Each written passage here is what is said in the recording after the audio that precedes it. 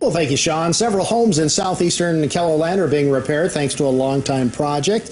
KELOLAND's Kelly Volk shows us what Repair Affair is all about. Yeah, that's it. Today, the Home Builders Association of the Sioux Empire and volunteers picked up some tools and got to work. Now, this project is geared towards people who cannot make necessary home repairs on their own. Elaine Hicks's backyard is a work zone today. She's getting a new deck and ramp because the old one needed to be replaced. The boards were splintering and uh, not steady at all. The Sioux Falls woman lives with MS. Hicks uses a scooter to get to her backyard, which she stopped doing for a time because of her old ramp. Well, I stayed in the house.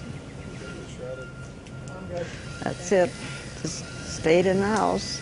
And I have such a beautiful backyard. It's terrible to not be able to sit out and use it. Nine homes in Sioux Falls, Canton, and Tea are getting repairs thanks to the program. I think the coolest part is we got 50 volunteers a day that dedicated their time to help out with these events.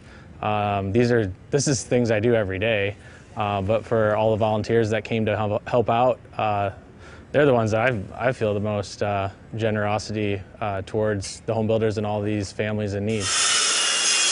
And now Hicks is looking forward to enjoying some time in her backyard. It's just wonderful. You know, I don't know what I would have done without, you know, somebody coming in and, and taking over and fix it.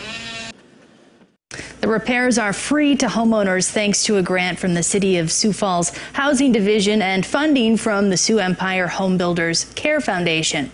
Since 1993, more than 250 repair affair projects have been completed. Thank you, Kelly.